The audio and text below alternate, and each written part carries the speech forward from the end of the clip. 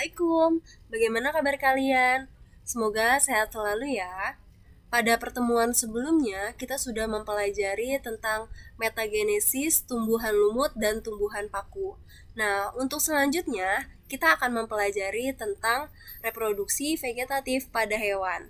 Tapi sebelumnya, jangan lupa di subscribe ya. Terima kasih.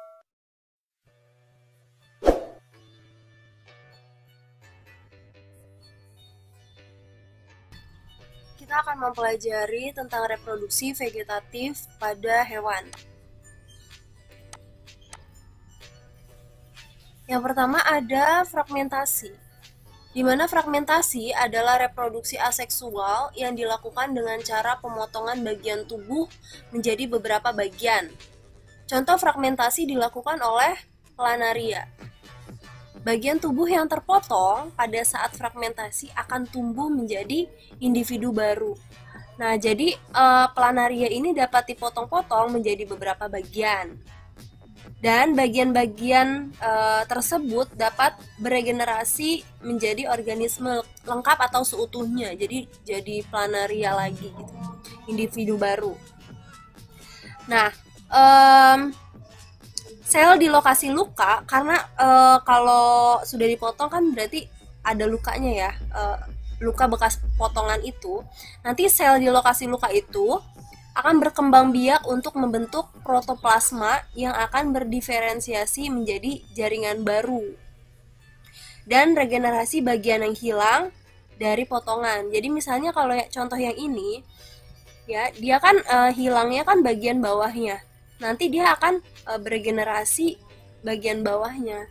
Nanti uh, bagian bawahnya dia ada lagi. Seperti itu. Lengkap lagi. Ini juga uh, dibelah seperti ini ya.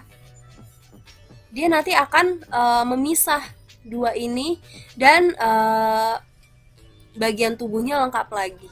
Ya yang tadinya hanya setengah jadi utuh lagi.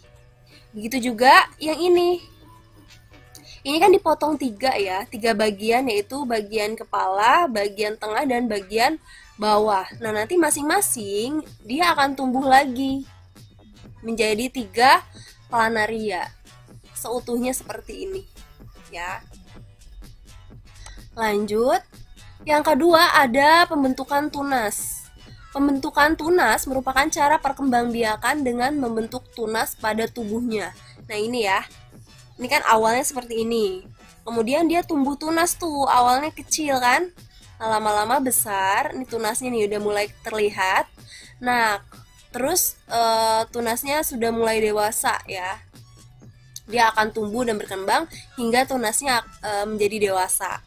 Nah setelah tunasnya dewasa tunas itu akan melepaskan diri nanti tunas ini tunas yang terpisah dari induknya dia akan tumbuh lagi menjadi individu baru. Ya nanti dia bakal bakal berkembang balik lagi seperti ini. Ya, ini adalah cara pembentukan tun tunas. Lanjut. Yang ketiga ada partenogenesis. Partenogenesis merupakan peristiwa perkembangbiakan sel kelamin betina membentuk sel telur tanpa melalui proses fertilisasi. Jadi nggak ada peleburan antara sel jantan dan sel betina ya. Uh, tapi uh, betinanya itu dia akan membentuk sel telur. Nih. Nanti uh, membentuk telur, nanti telurnya itu akan menjadi nimfa.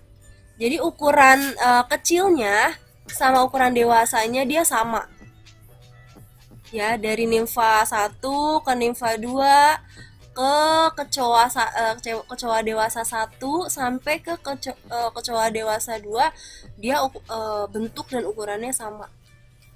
Ya. Contoh organisme yang melakukan partenogenesis adalah kecoa dan lebah. Pada kecoa hasil partenogenesisnya adalah kecoa betina tak bersayap kalau lebah, partenogenesisnya menghasilkan lebah jantan. Ya, itu tadi uh, ada reproduksi vegetatif pada hewan ya.